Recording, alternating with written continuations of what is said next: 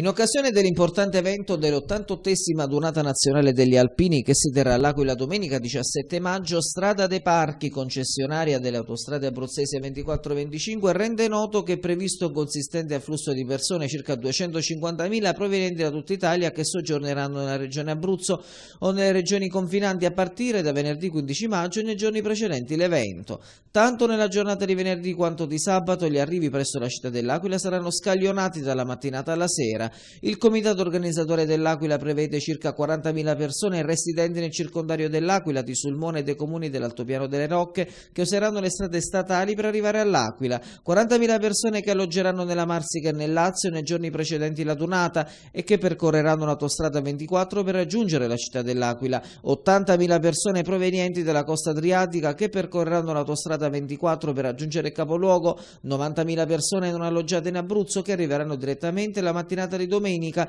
dove è previsto il maggiore e più consistente afflusso di persone. Stamane intanto è arrivato il messaggio del Presidente del Consiglio regionale Giuseppe Di Pangrazio L'appuntamento con l'88esima Donata Nazionale degli Alpini che si svolgerà in questi giorni costituisce una straordinaria occasione per la città dell'Aquila, per l'Abruzzo intero, per riaffermare sentimenti di amicizia che legano il nostro territorio alle forze armate, ma è anche l'occasione per testimoniare gratitudine e affetto verso l'impegno profuso dagli alpini, dei volontari ANA, a quelli della protezione civile in occasione del terremoto del 2009, sottolinea Di Pangrazio in un messaggio inviato all'ANA. L'Abruzzo forte e gentile, proseguito Di Pangrazio, da sempre terra di reclutamento per il corpo degli alpini, ha saputo saputo offrire nel tempo l'apporto di migliaia di giovani che si sono sempre distinti per passione, tenacia, lealtà e soprattutto attaccamento ai valori della patria. Questa terra ospitale sono convinto saprà accogliere con l'entusiasmo, il calore e la generosità di sempre le tantissime delegazioni italiane e straniere per vivere insieme giornate indimenticabili che salteranno i vincoli fra le forze armate e gli italiani,